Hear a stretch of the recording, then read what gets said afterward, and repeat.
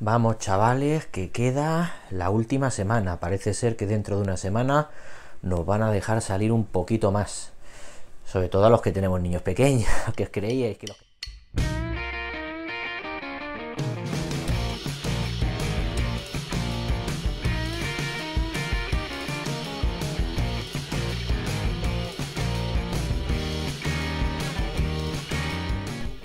Vale, semana que va del 26 al 20, no, del 20 al 26, del 20 al 26 de abril. Y ya terminando temarios, es que ya está todo dado. Hemos ido muy, muy rápido, claro, yo pensaba haber hecho otras cosas en otras condiciones.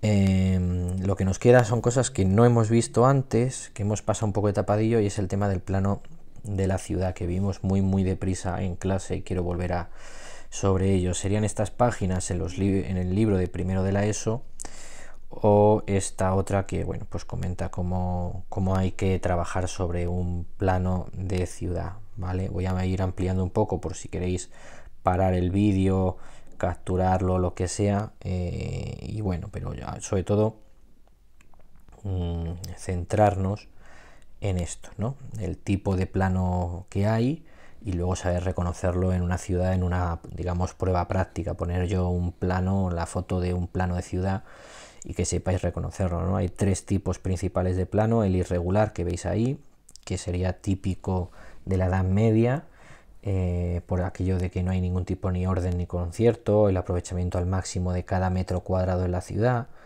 luego el, el plano, digamos, en cuadrícula, ese que pone ahí grid plan sería en cuadrícula, que ya serían más típicos del siglo XIX, con un ordenamiento muy claro, con, grandes avenidas, con, áreas delimitadas pues, para distintos usos. Y luego el plano radial, que también puede ser típico de, de la Edad Media, pero en este caso más bien cristiano ¿vale? Donde el centro suele ser una catedral o una gran iglesia y en torno a ella se han hecho los barrios. Porque el irregular, el irregular suele ser típico de la Edad Media, pero es más fácil encontrártelo en una ciudad eh, musulmana o que ha tenido una importante presencia musulmana antes que, que el circular, ¿vale? Es decir, aunque veamos ciudades eh, como Toledo, conquistadas por los cristianos y tal, eh, pero su, trazado irregular, su origen es en el pasado musulmán de la ciudad, la presencia musulmana, ¿vale? Y, bueno, pues que veáis esas diferencias, el irregular, el, cuadrícula y el, este que pone aquí como radial, ¿no? Vamos a ver alguna serie de, ejemplos. Em, por cierto, veis ahí las, ciudades que pone como, ejemplo, ¿no? Para buscarlas ahora, por ejemplo, en el, en el Google Earth.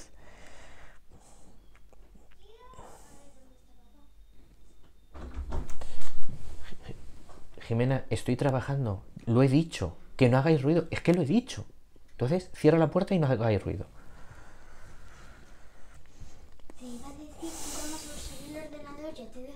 Vale, en silencio.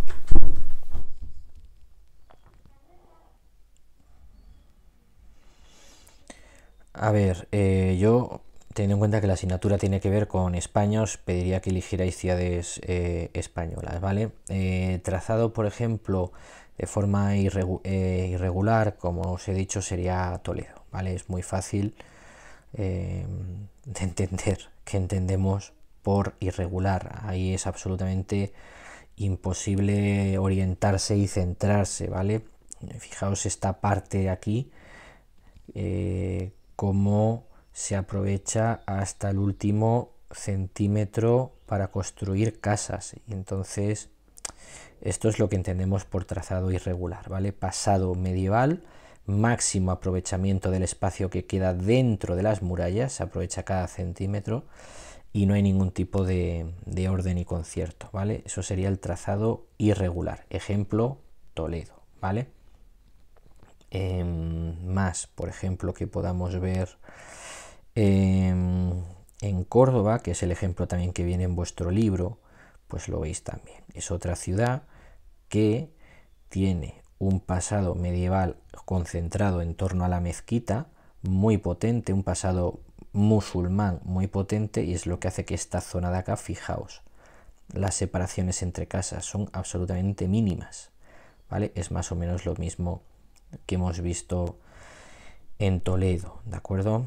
Em, una ciudad, por ejemplo, eh, de origen romano y que tendría un, un, un, trazado, por lo tanto, peculiar, porque su origen es un campamento romano y por lo tanto más o menos rectangular, más o menos rectangular y cruzado por dos avenidas amplias, ¿vale? Que eran el Cardo y el Decumano, sería la ciudad de Lugo, porque la ciudad de Lugo, su origen es un campamento romano. Entonces por eso tiene lo que es el casco histórico esa forma tan peculiar rectangular y en su día debió cruzarlo pues una gran avenida norte-sur y eh, otra este-oeste. ¿Vale? Más o menos aquí se adivina lo que debió ser una entrada de calle y su salida correspondiente. ¿Vale? Esa debió ser seguramente una de ellas. Y luego la que sea este, eh, norte-sur o oeste-oeste, pues igual sería por aquí. Lo que pasa que esto ya está lógicamente modificado, ¿no? pero se ve bastante, bastante bien ese trazado cuadrangular típico de las ciudades de origen romano, aunque en vuestro libro se les ha olvidado hablar de ello, ¿vale? Pero que, sepáis que, existe, ¿vale? En cuanto al trazado perfectamente ordenado, maravilloso, en cuadrícula que llama vuestro libro, ¿vale? Pues fijaos que Madrid tiene eh, ese origen medieval, como estáis viendo en esta zona de aquí, esto sería la Puerta del Sol, ¿vale?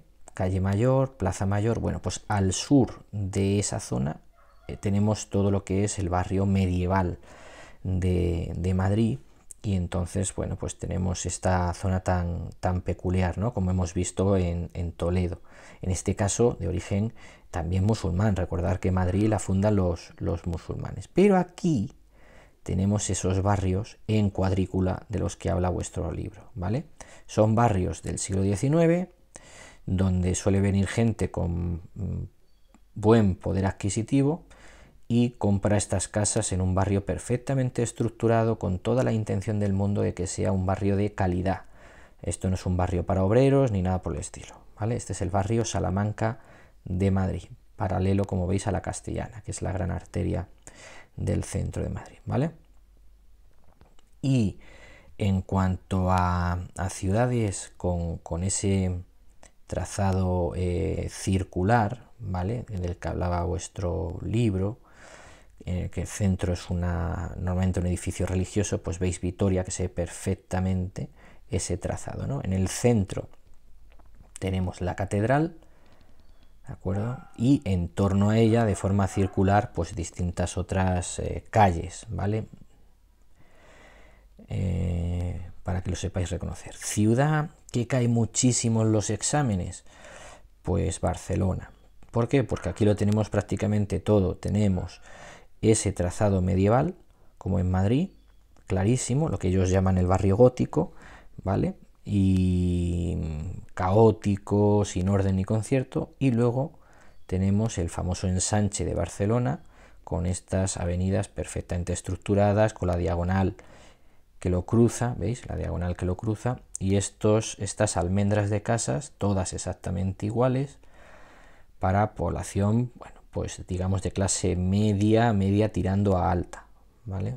Que sería la población que va a vivir ahí en el ensanche de Barcelona, ¿vale? Pues un poco esa es la idea de este criterio, que sepáis distinguir los planos de ciudades y así poder ver un poco el origen, la historia de esa ciudad. Vosotros en Guadalajara, por ejemplo, vamos a ver si vemos algo de, ese de origen, pues lógicamente el origen de la ciudad estaría esa es la iglesia de Santa María y la, eh, hacia, hacia lo que es el centro, hacia el ayuntamiento, no sé si se aprecia un poco a una zona semicircular, sería el casco histórico de Guadalajara, la zona medieval de Guadalajara. Lo que pasa es que vosotros el urbanismo lo habéis perdido en gran parte y se distingue muy, muy mal, la verdad. Y aquí en cambio en Sigüenza, pues el plano que tendríamos sería de esos si tuviera que elegir uno, aquí tiraría hacia el circular en el sentido que tiene dos centros. Por un lado, la Catedral de Sigüenza y por otro lado, el castillo. Y luego las calles, intentando hacer un óvalo, juntándolo, ¿vale? Con lo que llaman ahí las, las travesañas, que son estas calles que lo cruzan de forma transversal. Esta es la calle mayor, que es la que va desde la catedral, la que sube desde la catedral hasta el castillo, y luego tiene estas travesañas, ¿vale? Que lo cruzan por la mitad de forma perpendicular, ¿vale? Entonces, son planos urbanos que hay que saber un poco reconocer para ver que si esa ciudad tiene un origen romano, si lo veis cuadrangular, si tiene un origen medieval y luego si es un origen medieval musulmán, si es irregular o medieval cristiano, si es